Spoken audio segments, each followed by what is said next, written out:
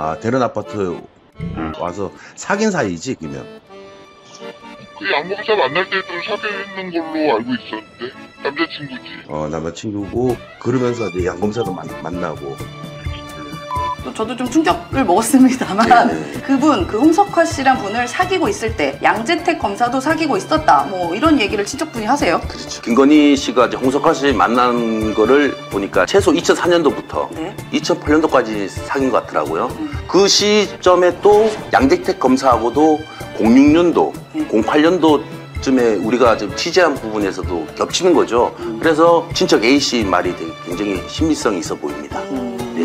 네. 솔직하게 대표님한테 궁금한 게 굉장히 많습니다.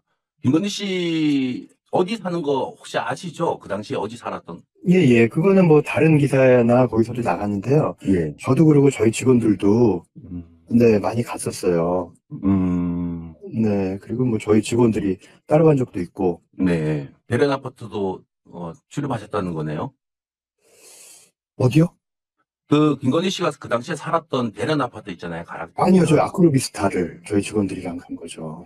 아, 그럼 대련 아파트는 한 번도 간 적이 없나요? 대련 아파트는 모르겠는데요. 음, 음, 그런가요? 아, 대련 아파트 간 적이 없다 이거죠. 네네. 음, 음. 확인된 거를 제가 좀 말씀드리는 겁니다. 어. 대표님 대련 아파트 출입 자주 하셨잖아요. 음. 김건희 씨하고 그냥 그 그러니까 그, 아니요, 아니요. 그 자체도 뭔가를 이상한 쪽으로 지금 엮으려고 하시는 어, 거를 여건은 제가. 아니라니까요. 저는 김건희 씨한테 이만큼도 엮이고 싶지 않아요.